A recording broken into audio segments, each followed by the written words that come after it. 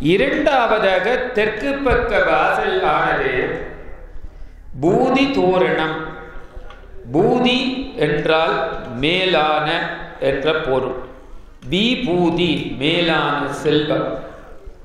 அந்த பூதி என்று சொல் மேலானது. எமக்கெல்லாம் அமைதி கிடத்தால் பேர்ந்து வேண்டியது செல்வம். மேலான செல்வமெல்லாம் எங்களுக்கு கிடைக்க வேண்டுமே ஆனால் நாங்கள் இந்த தெற்கு வாசல் யாகசாலையிலே தெற்கு வாசல் யாக வாசலிலே நின்று தரிசனம் செய்ய வேண்டும். அப்படி தரிசனம் செய்திருந்தால் உங்களோட வாழ்விலே நல்ல செல்வங்கள் உங்களுக்கெல்லாம் எப்போது எப்போது ஆண்டவன் தர வேண்டும் என்று நினைக்கின்றாரோ அப்படிப்பட்ட செல்வங்கள் நீங்கள் கேட்கும் செல்வங்கள் எல்லாம் அப்போது வந்து சேரும். ஒரு மனிதனுக்கு அமைதி கிடைத்தது அடுத்ததாக செல்வம் கிடைத்தது. இந்த இரண்டும் கிடைத்து விட்டால் அடுத்தது எது வேண்டும் மூன்றாவதாக?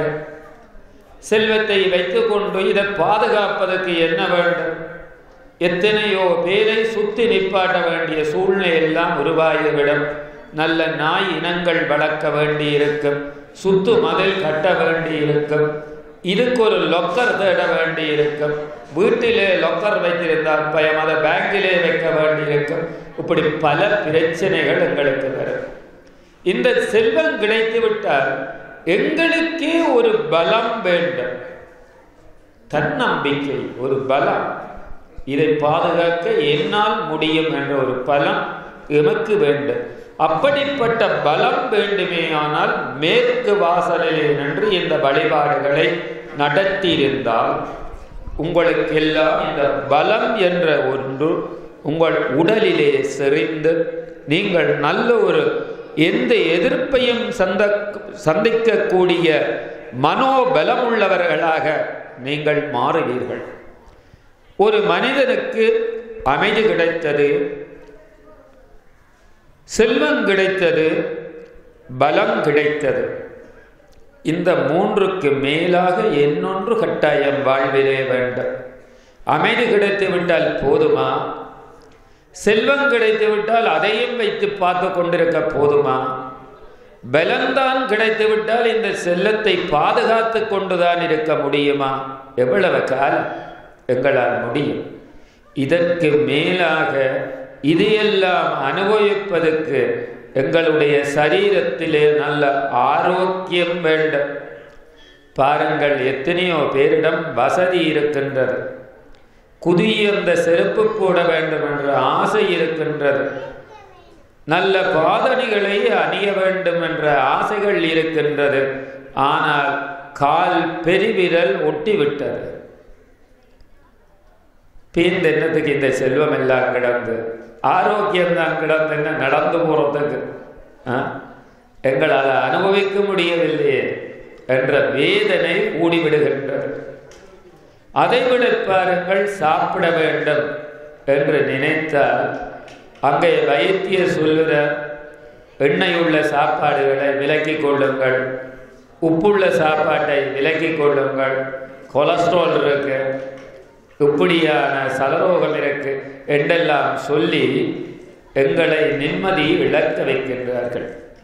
அப்ப மனிதனுக்கு எது எது கிடைக்க வேண்டும்? இந்த வடக்கு பக்கத்திலே நின்று கும்பிடுவதா? உங்களுடைய சரீரத்திலே நல்ல ஆரோக்கியம் நிலவும். அப்போ ஒரு மனிதனுக்கு வேண்டியது முதலிலே அமைதி அடுத்ததாக நல்ல செல்வம் இந்த செல்வத்தை பாதுகாப்பதற்கு நல்ல ஆரோக்கியம். இந்த ஆரோக்கியத்துக்கு மேலாக பலம் பலத்துக்கு அடுத்ததாக இந்த சரீரத்திலே இதையெல்லாம் பார்ப்பதற்கும் இதையெல்லாம் எமது உடலிலே நாங்கள் உடலாலே உணர்வதற்கும் உண்ணுவதற்கும் உரிய நல்ல ஆரோக்கியமான மாநிலராக நாங்கள் வாழ வேண்டும்.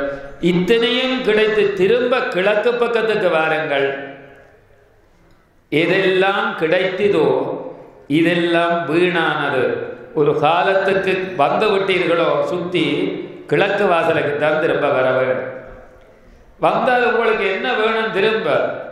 அமைதிதான் கேட்பீங்களுடன் எல்லாத்துக்கும் மேலாக.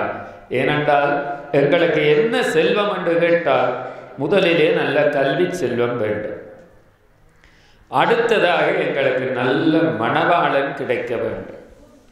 அடுத்ததாக நல்ல பிள்ளை செல்வம் வேண்டும். இத்தனைக்கு மேலாக நல்ல செல்வங்கள் வேண்டும். இத்தனையும் கிடைத்து ஏதோ ஒரு செல்வம் சாத்தியமே. நாங்கள் சுத்தி வந்து திருவருளை பூரணமாக பெற்றுக்கொள்ள வேண்டும் என்று வேண்டி எனது உரையை நிறைவு செய்கின்றேன். அரகர நம பார்வதி.